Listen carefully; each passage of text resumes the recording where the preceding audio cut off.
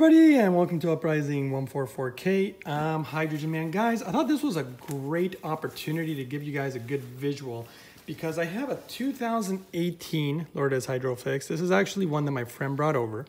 And then this is my 2019 Premium. Now, one of the ways to know if you've been maintaining your machine properly, which is kind of the reason he brought it over, you can just look at his plate down there and look how it's all frosted white and mineral so much mineral buildup. I can see that it's obviously been neglected. He has not been maintaining it properly. You can kind of see maybe from this angle too. But look at mine, and it's perfectly clean. And guys, I can't emphasize how important it is to stay on top of the maintenance on one of these. And it's not even that difficult and it's incredibly cheap. But let me just turn it on so you can see the differences because this is going to give you a really good visual whether you're making the proper amounts of hydrogen, which is really important in order to get proper results.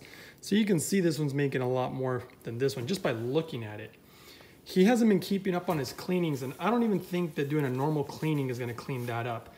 He's probably going to have to do a special type of cleaning. In fact, maybe I'll make a video on how to do it. But you can see how little this is making. And then if you go to this one, that's what it should look like. That is what it's designed to do right there. And that's just, again, really important because it can shorten the life of the machine also, and you don't get the proper amounts of hydrogen. And it's just kind of silly really because it's so inexpensive to do cleanings on these. Typically, I believe what's recommended is about once a month, but you can do a cleaning when you start seeing any form of buildup on your plates. And it doesn't, again, it doesn't matter what type of water you use. Even if you use distilled water, you should still be doing your maintenance about once a month or when you see a lot of buildup. So hopefully this kind of gives you guys a, a, good visual about what it should and shouldn't look like and what you shouldn't do. that was definitely not good of him not keeping up with the maintenance on this one. And if you do keep up on the maintenance, then you know you will be rewarded by not only a reliable machine, but you'll be rewarded by the hydrogen ultimately.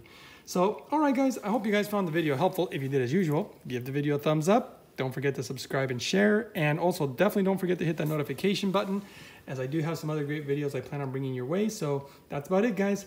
Thank you all for watching, and I'll see you guys next time on the next one.